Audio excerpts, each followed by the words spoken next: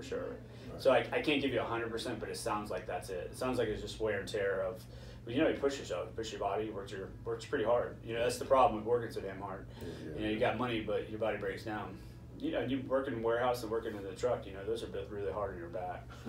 Yeah. Did you do forklift driving too when you're? Yeah. See, and that forklift's tough anyway. Just No shock. yeah, no shocks. You're twisted. You're, you're torqued. You're just mm-hmm. you're just compressing and irritating and all that stuff. Understand it for me. So you know, if it is arthritis, you know the best thing to do is you. Do you have any stretching routines you can do? I might- I mean, I'm sure I can do a little bit of anything. Do you have any stretching routines? Not that I first, not that I really do, just stuff to try to make my back crack.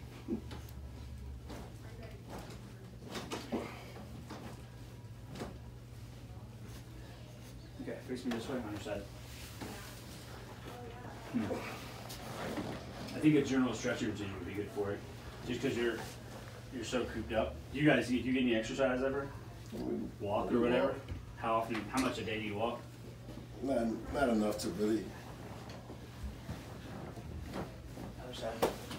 And I would tell you, if you want to have longevity in your spine, you need to be doing a couple things different. You need to be getting some type of, of aerobic activity. You've got to drive blood flow.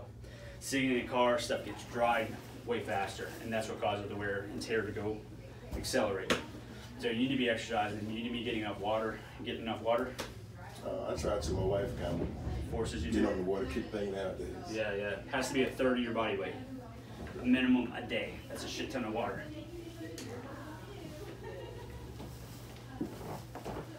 Understand? The other thing you need to be doing is lengthening stuff. So you need to be stretching all these muscles out. Can we print out that uh, general low back stretching?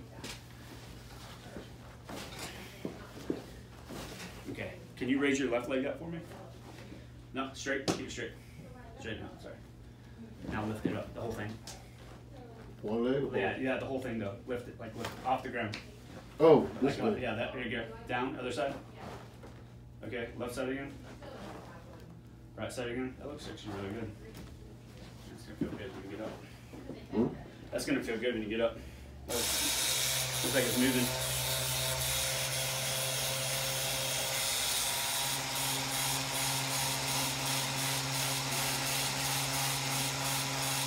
Yeah, when you sit there and your like your spine gets compressed all day, it gets dehydrated. So you're gonna have to force fluid back in there. Think of the joints in the disc and low back. Think of it like a dry, crusty sponge. You know, if it stiffens up, you don't get any fluid exchange. You know, you got to squeeze it underwater, and you got to squeeze it again and squeeze it again. Eventually, it loosens up, right? Mm-hmm. That's the way all the tissues respond to that. So you have to force fluid in there. And stretching and walking is the best thing you can do for yourself. You know, you, you guys need to set a goal a day of how much to walk. It, it can be an arbitrary number. It can be a time. I'd recommend time. 30 minutes to start. Okay. Drive some blood flow to that low back. That's gonna make you guys feel a whole hell of a lot better. You know, for longer, more importantly. Mhm.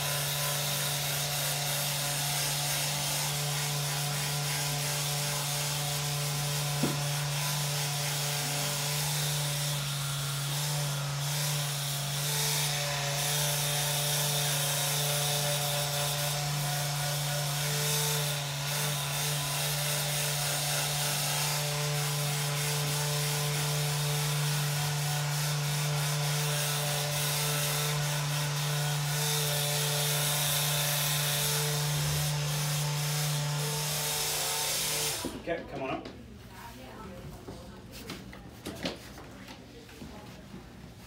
Bend, bend, bend. It feels better. I feel like it does. Feel good? I think it does. Will you go over the stretches with him? Yep. Right over there for me. Fresh off a four day hotel stay, five days without running, five days without making a single dime. Fresh out the gate, first thing in the morning.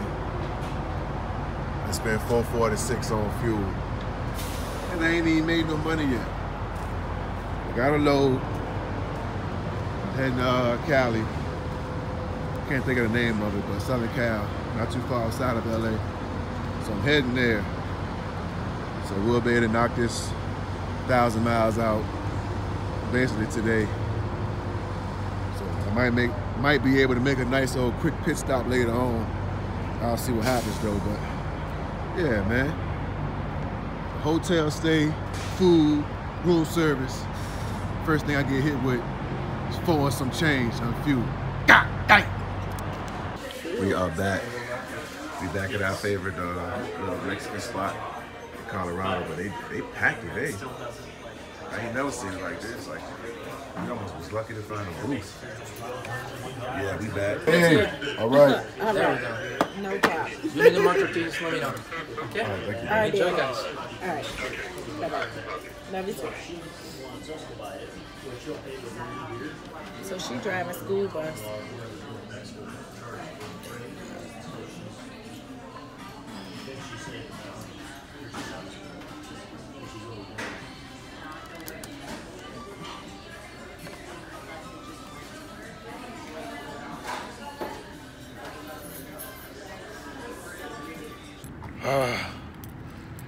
Just got full. We just had a great lunch. Yeah, that was good. Uh, one of our, I guess you call it our favorite. This was our second time going. So I guess you could say it's one of our favorite restaurants. Right? I like it. I mean, you know, everything's fresh. Um, they're pretty fast, clean, it's cozy. Nice little Mexican music playing in the background. Exactly. So by the food being as good as it was, and us being as satisfied as we are, tell you, What? what? what? what? what you laughing at? tell these people why you just tipped that man. why you just tipped the dude two No, dollars, man? You tipped the Okay, dude two dollars, man. Why you tipped the dude two dollars? I normally All right, go. do give good tips, but I We got didn't feel like he did a whole lot. I mean, the food was good. It was, but The service was good? I was trying to make it an even amount. Tab came up to like 27 and some change. She rounded that joint to $30 and gave him $2 and some change tip. but tell the truth, don't I normally give good tips? That's why I'm tripping off this $2 you just, you just gave that dude. It was two dollars. You see how she capped it up, right? It was yeah, $2.57 It was real good. Yeah, it was real good. Everything was fresh. It was two dollars fifty. You could tell it was fresh. That's her favorite thing to say. yeah, but it was. You could tell it was fresh. him. You thought he did bad? We sat in the corner. That wasn't his fault. It was packed when we got in He there. asked me, did I want some more to drink? He ain't, he ain't refill your drink. No. He refilled my joint. Yes. You sure he? I remember him asking you if you wanted more lemonade. He asked me about if I want anything else to eat. So with that, I mean, $2. Two dollars to hold up, really. Straighten up. okay, look, I just didn't feel like he just he needed that much tip. What was wrong with two dollars? It was a tip. I still tipped him. Two dollars. I mean, I still tipped him though. You, you did. I didn't just walk out like we tip everywhere we go. Okay. Two dollar tip. You so wrong though. You did put me out there like that. That's all right. Come back. It's gonna come back. Two dollar tip though. That's how we get down. Oh, oh, so you and I gotta walk around the truck. Okay. She ain't even gonna let me. Okay. She better have that door unlocked like on the movie. What was that movie, y'all? Yeah. I'm in the driver's seat. Yeah. I knew she had that door locked. What's that movie? Bronx Tale, I think it is. Bronx Tale. Yeah. See, she had that door locked, unlocked. Don't be trying to do me like that. I'm saying though, Two dollars. it was two dollars and fifty-seven cents. Okay. I mean, it was a bro. tip though. I'm with you. Look, I remember when I didn't have money to leave a tip. Okay, I didn't have money. That's not the case, so You know what? two dollars. Can't lie, I'm a little hot right now. We out here in uh, Cali, Compton to be exact. Supposed to be a live load, pickup at 2 o'clock. I show up at 20 minutes to 2. I'm being told that the pickup ain't gonna be ready yet. They take my number down, all this old crap. So right now we walking to the Carl's Jr., AKA Hardee's, and uh, try to grab something to eat. But then it's like when they call me, if I ain't back there in a certain time, they'll get a load to somebody else. And what I didn't want to do was be dealing with five o'clock traffic this far down, you know, LA and all that kind of good stuff. I was trying to get in, pick up at two o'clock, live load, be out by three, 3.30 the latest. I don't know what the deal gonna be now. And we going straight from here to El Paso, Texas, so we'll see.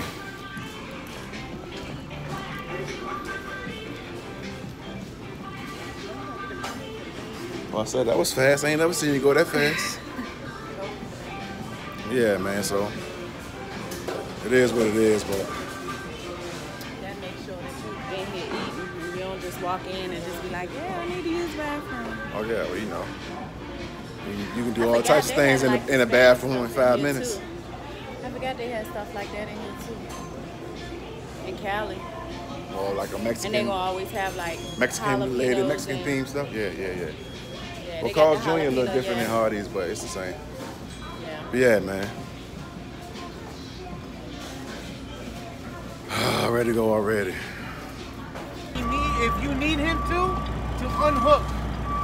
Cause he's still he's still at the spot. I think there's a guy right there right now. So I already told him, if he already parked, I told him to unhook Okay. so that he can, you can have a better chance to get into nine. Okay.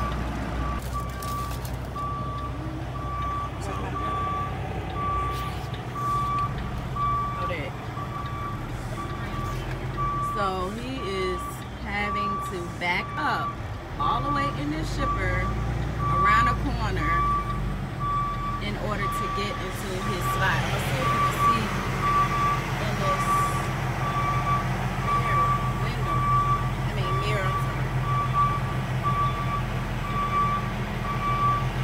It's crazy. Well, watch what I do though. Y'all can see.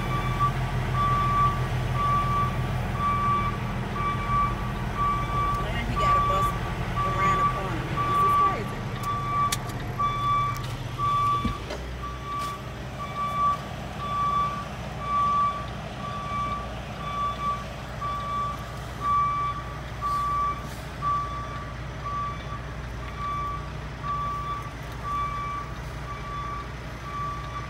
Like, I mean, is the assumption that everybody coming here with a truck is an experienced backer or experienced driver to the degree that they can do all of this?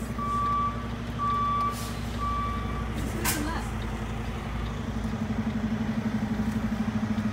Especially when they got crap on they doggone. I'm telling you, people in the other docks that's in the way, people that's just parked there. This is crazy.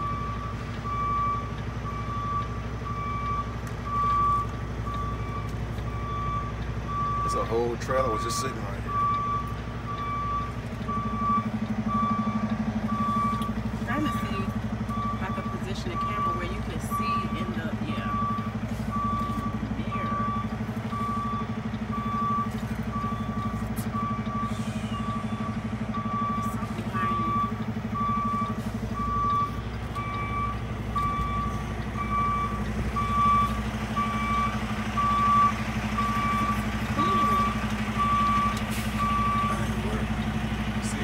truck right here on the end. Look at this. I got a truck right. I'm trying to get around that truck going backwards. And the loading docks are over here on this side. And I got to go around the nose of that truck. Come on, man. I done drove backwards all the way down here. And you got to turn that corner. Come on, man.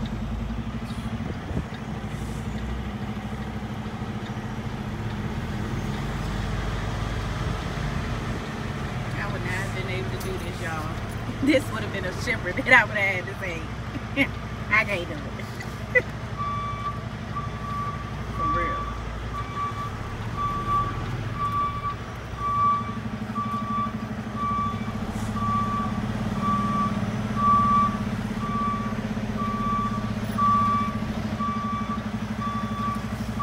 And you see all of these cars parked right here. Like, I mean, this space that he working with is just minimum to none.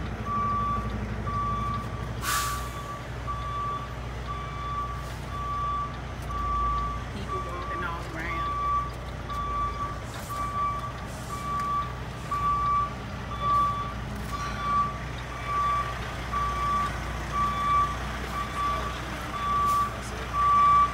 Got it? I'm asleep.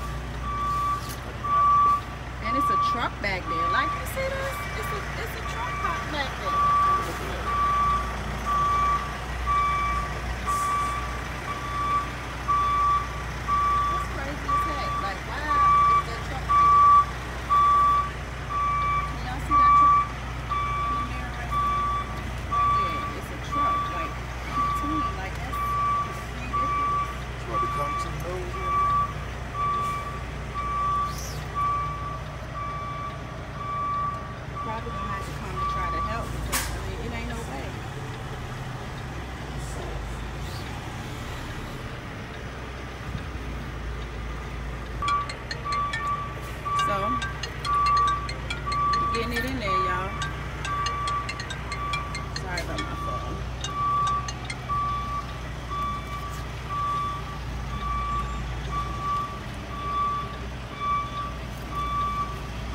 Hold on, baby.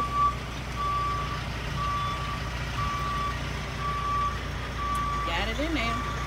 I ain't in there yet. Yeah, but you real close. Like, look at this. He had to back all the way from there, all the way in here. Like, this is unreal. Then he would have to do that.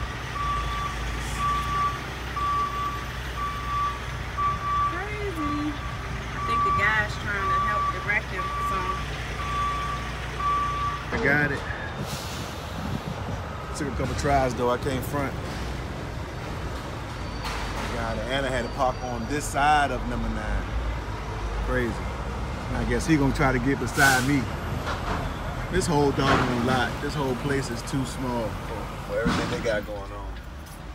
I mean, I ain't. It ain't for me to say, but I'm saying it. I ain't saying I'm like that. If somebody had very minimal backing skills, they would have been here for a while. That's all I can say. Serious question. What? Do you think monogamy is natural? Whoa, whoa, whoa! That's a big one. I'm gonna drop. I, I drop. I dropped the phone. I mean, I think it's natural. I mean, I feel like monogamy is a choice. I mean, in the confines of marriage, or you talking about monogamy in just I'm a about relationship? Or you talking about marriage? Because it is I'm- is I'm different. talking about the fact of dealing with one individual for any and all of your sexual fantasy or whatever. Like, is dealing with one person and in a monogamous relationship where it's just you for them, them for you. Is that a natural way of life?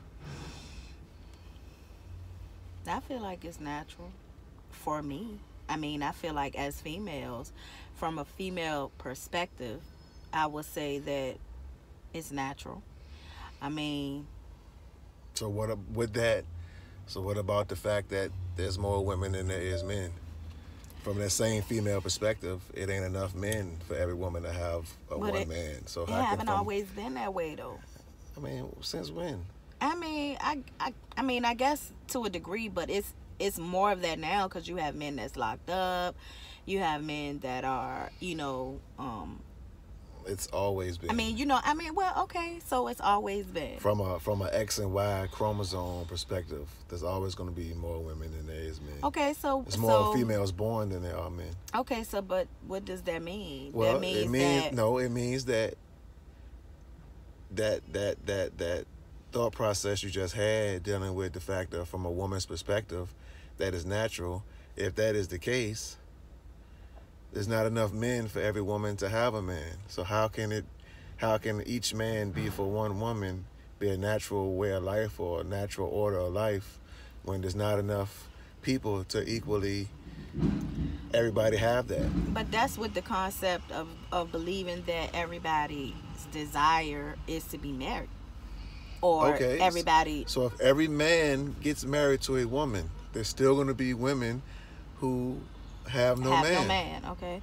So, So then what? Because from that female perspective, every woman should have one, and every woman should be able to get their own. But it ain't enough for every woman to have their own. So, what do the woman do? What does the woman do who doesn't have? Uh, uh, a man in a sense?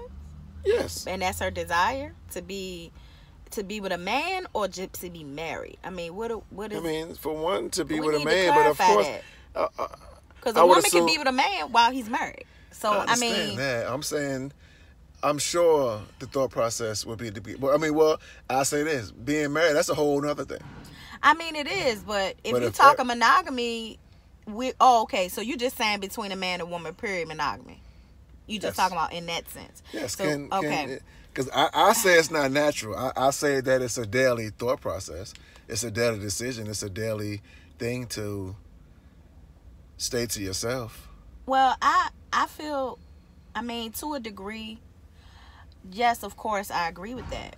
But I only had those thoughts and things like that before I was in a committed relationship. Once I got in a committed relationship, those thoughts don't ponder over me like that on a day to day basis because I made my mind up. Now, are there times that I see people that I could be attracted to? Of course. Do I see people that I think that are, uh, uh, you know, I mean, I'm human at the end of the day. But do I have my thoughts going to thinking about, oh, I want to be sexual or I wish I could, you know, be with them sexually? No.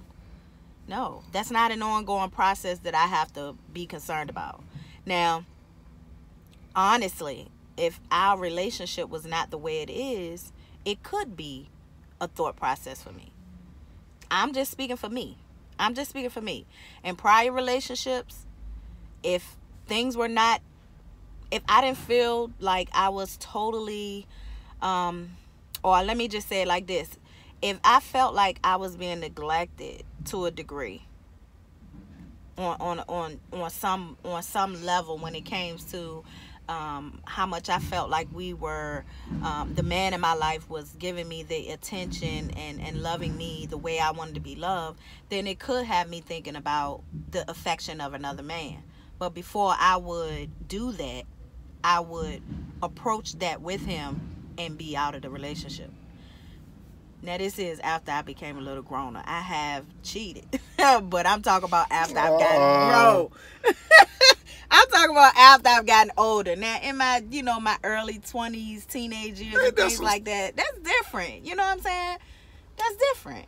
You know, if one guy, if he ain't doing like there, de- well, I should say that there definitely ain't enough grown men for all the grown women.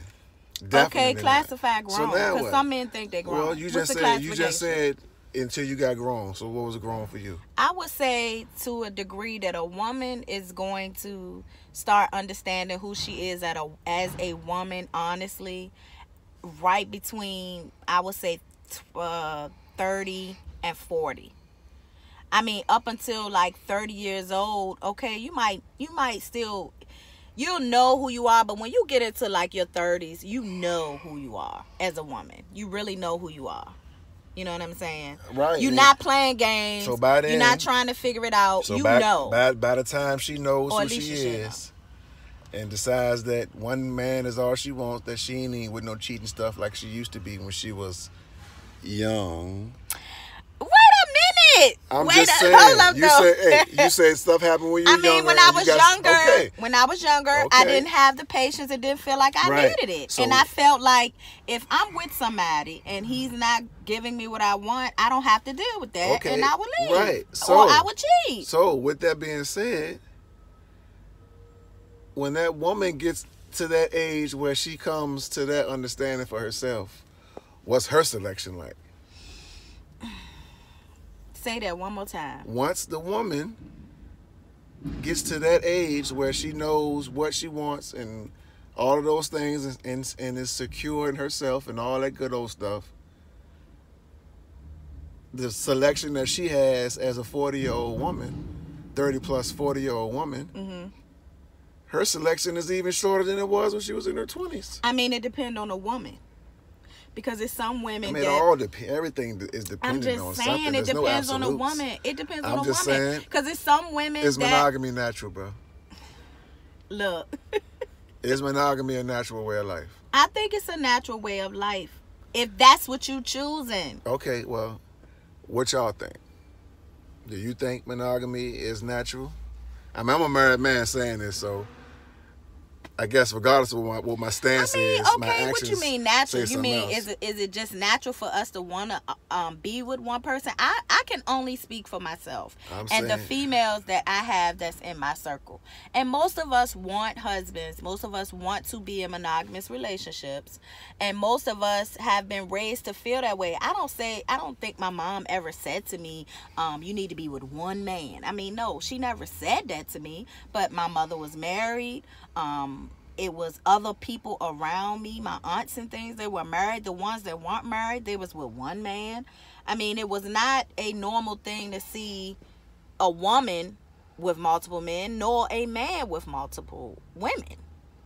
Now, have I heard of times where you will find out that a family member had cheated or something like that? Yeah, because I know some stories, bro. It was like devastating. I know some stories about family, bro. Yes, but what I'm saying is, is that yes, but we would say like it was devastating because it's like, okay, why they cheating on their wife? Like, like why are you, why are you doing that? You know, my thing is, Cause I can. no, this is my stance. this is my stance. Before you make a commitment to say that you're gonna marry somebody, you need to have gotten that out of your system. I don't know And you should respect. Don't play with me. When you say out of your system, what does You that mean? You need to get that out of your system. But how do you know it's Why out of your marry somebody? Why marry Because you don't want them to be with nobody else. Okay, so where's the double standard in that? So I'm supposed to be all for you and you not all for me? Get out of here. Hey, again, Again, what? equality does not mean identical. But we'll see. Like I said, Here you what, go with your riddles. what- he always what saying y'all- these riddles like he. what y'all think? Leave, leave, leave a comment. What y'all think? Is, is monogamy natural? Is it a natural way of life? We all grown here. What you think? Thousand bank rolls, yeah, I made myself a boss. Had to learn from my mistakes, yeah, I had to take a loss. They say it cost to be the boss, don't make us nail to the cross. When that pack touch down, we gon' call it Randy Moss. When that pack touch down, Randy Moss. When that pack touch down, we gon' call it Randy Moss. Had to learn from my mistakes, had to make myself a boss. Had